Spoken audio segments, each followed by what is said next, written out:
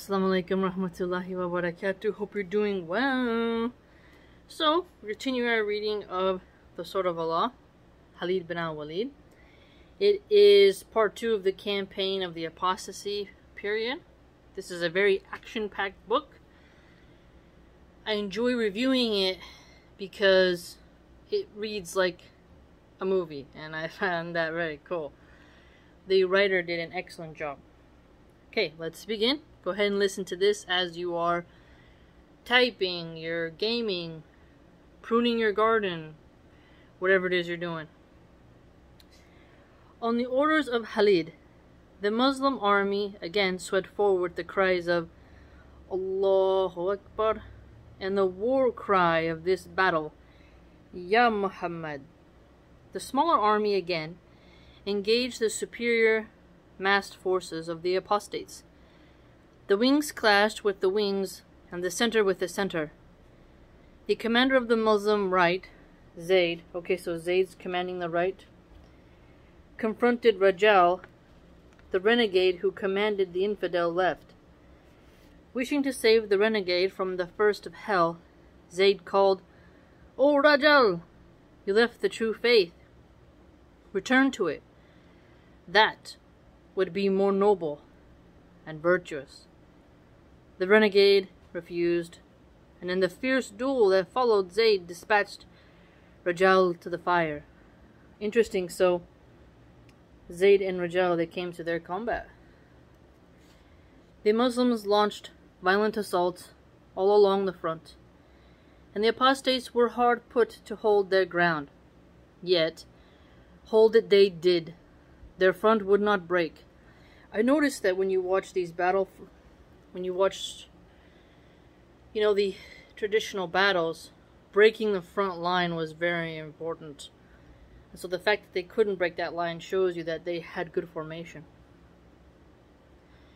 Apostates fell in hundreds, and Muslim casualties also began to mount. With the apostates superior in numbers, and the Muslims superior in skill and courage, the two sides were evenly matched. Parts of the two fronts locked in mortal combat heaved back and forth. See, I like how he describes that. Because this type of tense battle, you can imagine the smell of just the constant wounds these men are enduring. The heat of the sun, the sweat and the salt smell just dagging and slashing and arrows and horses and you know the commanders telling which wing to go where to hold the center. It, the intense amounts of energy concentrated on that battlefield. It just kind of shows you how the men of those times you did your duty. You didn't know if you were going to survive. And they held their position it's quite amazing The dust from the thousands of stomping feet rose and hung like a cloud over the heads of the belligerents. Wow, yeah, so think about that imagery. Just the sand and everything. It's you're a commander on your horseback watching it. You have to be focused, diligent. The women wondering if their husbands will come home. Mothers wondering if their sons will come home. Fathers hoping that their sons do well. Broken swords and spears littered the wadi, and the plain as mangled and torn bodies fell, in heaps on the blood-sodden earth. The most dreadful carnage took place in the gully in which human blood ran, in a rivulet down the wadi. As a result, this gully became known as the Gully of Blood, Shuaib Udam, and it is still known by that name. But the battle hung in the balance and gave no promise of decision. So the Gully of Blood. Wow, so, you know, many people have talked about how in the ancient times these fertile forests, fertilized with the blood of men sacrificing themselves, testosterone filled blood drenching the soil because everyone knows at farms that blood, animal blood, is a great fertilizer. Really, the soil drinks it up, the tree roots absorb it. It's really quite fascinating. And so, not only are the lands imprinted with the fallen bones of those people who fought there, but the soil itself has taken part in the battle by absorbing the aftermath. It's really quite compelling. I really enjoy this book, if you haven't told. If you can't tell.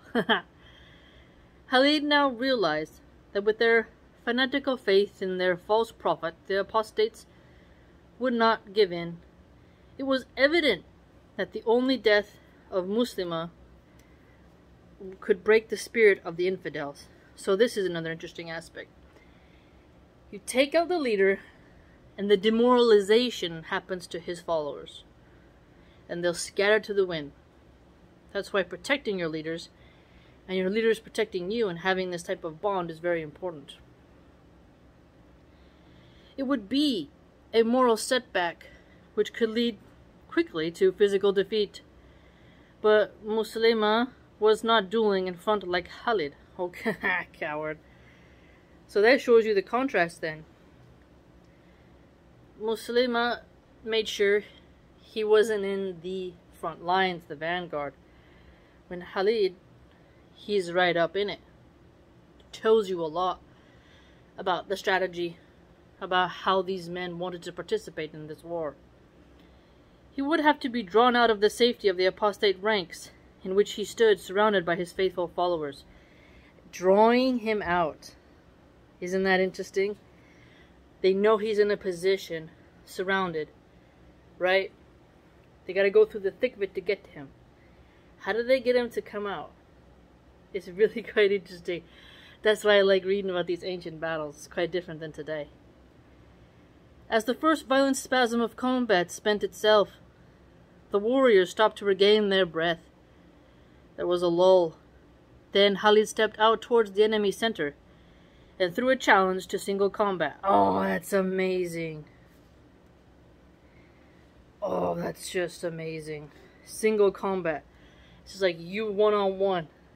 I mean, come on, man. Like, I heard that Khalid had, he was a polygamist. He also had, um, concubines, a bunch of children. You can see why the ladies liked him, man. He's literally like one on one. I'm going on the front lines, handling business. You know? Quote I am the son of Al Walid. Will anyone duel? Several champions came out of the apostate ranks to accept the challenge of Khalid and advanced towards him one by one.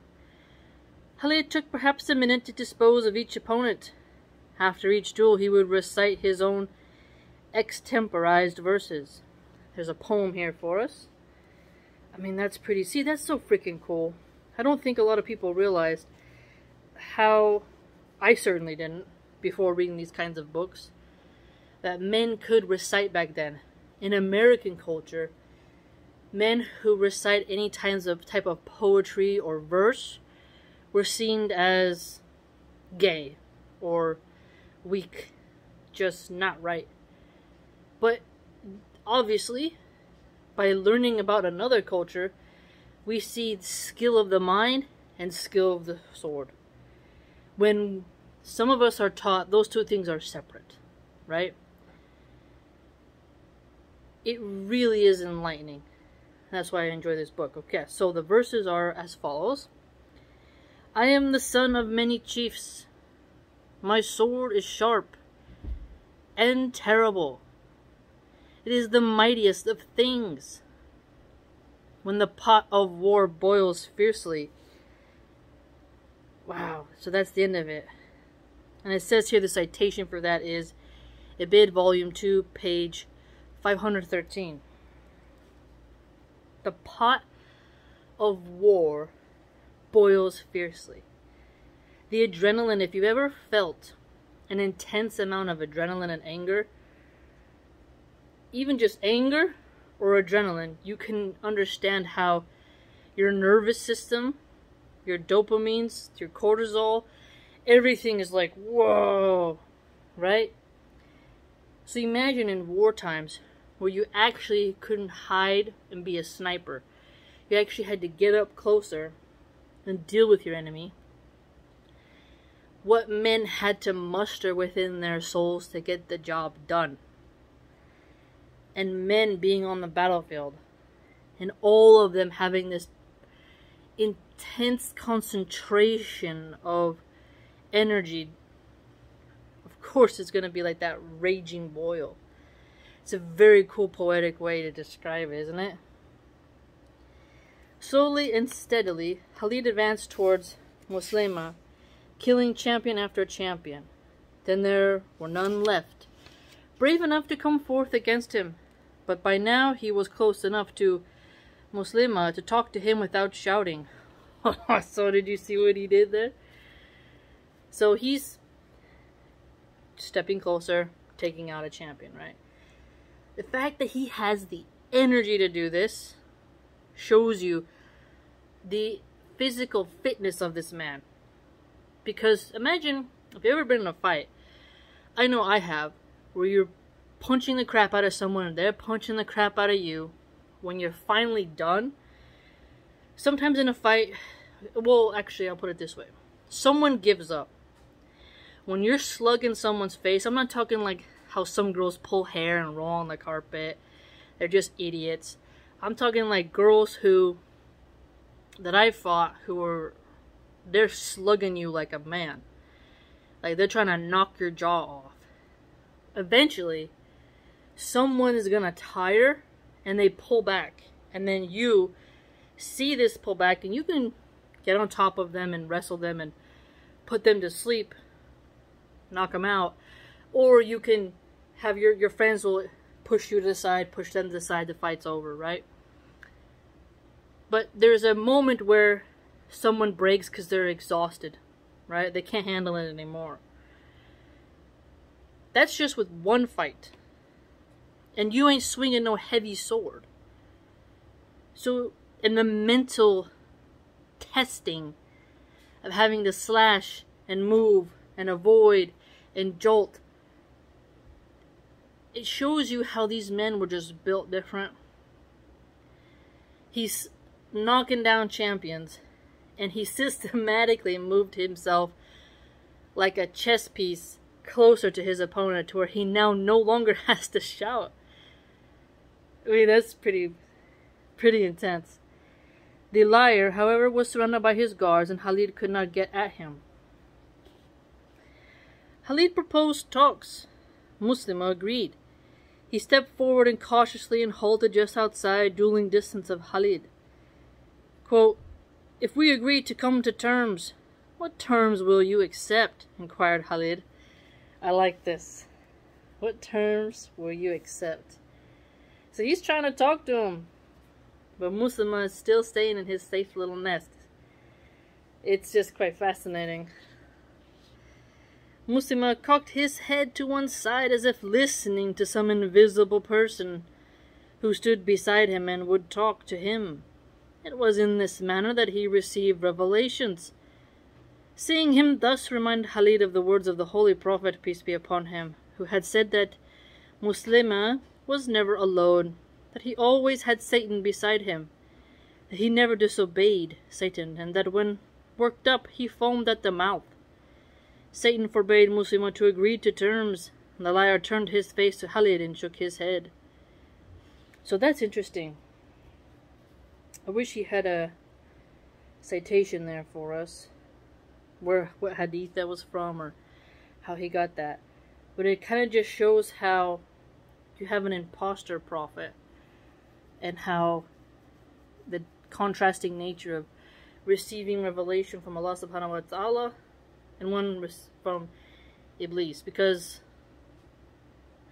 you, we must remember who's at the disadvantage here as sometimes leaders come to a, an agreement when the battle has gotten hot. But if he's rejecting, there's something else afoot. Khalid had already determined to kill Muslima. The talks were only a bait to draw him close enough. He would have to work fast before Muslima withdrew to the safety of his guards. Khalid asked for another question. Again, Muslima turned his head to one side, intently listening to the voice. At that instant, Khalid sprang at him. To draw, to bait him, to draw him close enough. So he's strategic, like he's strategizing how he's going to get that fool. Khalid was fast, but Muslima was faster. In a flash, he had turned on his heels and was gone. Muslima was safe once again in the arms of his guards. But in that moment of flight, something meaningful happened to the spirit of the two armies. Depressing one and exalting the other, the flight of their prophet and commander from Khalid was a disgraceful sight in the eyes of the apostates. Aha, so he fled, they become more demoralized. The Muslims rejoice to exploit the psychological opportunity which now presented itself. Khalid ordered an immediate renewal of the offensive. So the Muslims saw what happened. Dude flees. They're all pumped up. The apostates are like, oh, our leader's like totally just not doing his thing, but he got away. he ran away. What a coward. Uh, what do you think, Val?